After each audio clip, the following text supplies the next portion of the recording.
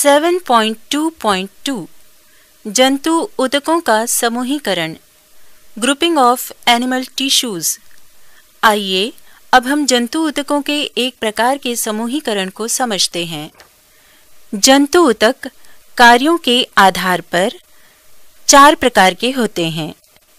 त्वचीय उतक संयोजी उतक पेशीय उतक तंत्रिका उतक त्वचीय उतक ये उतक शरीर में पाए जाने वाले विभिन्न अंगों की सुरक्षा करने का कार्य करते हैं।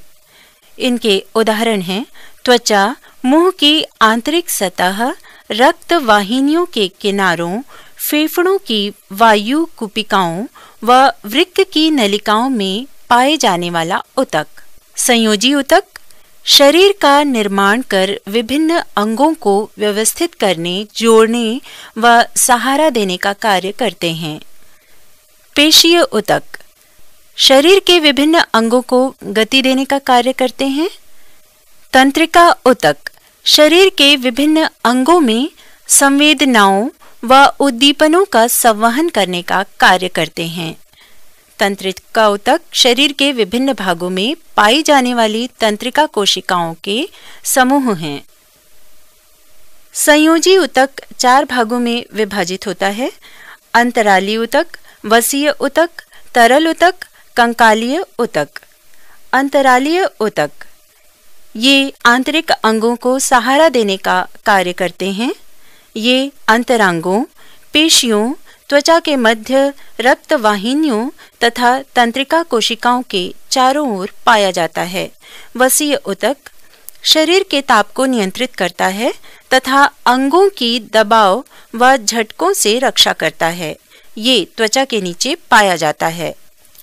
तरल उतक तरल उतक का कार्य शरीर के तापक्रम पर नियंत्रण, ऑक्सीजन व कार्बन डाइऑक्साइड का संवहन, शरीर की रोगों से सुरक्षा। और तरल उतक दो प्रकार के होते हैं, रक्त और लसिका। कंकालीय उतक। कंकालीय उतक का कार्य शरीर का ढांचा बनाना, सुरक्षा तथा गति में सहायता करना होता है।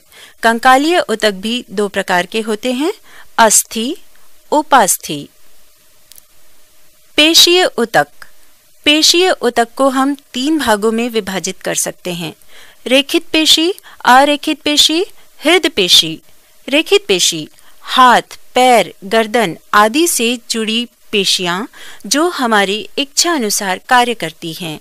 अरेखित पेशी, आहार नली, श्वास नली रक्त वाहिनियों आदि में पाई जाती हैं, हमारी इच्छानुसार कार्य नहीं करती हैं। हृदय पेशी, हृदय में पाई जाती हैं, जीवन पर्यंत कार्य करती हैं।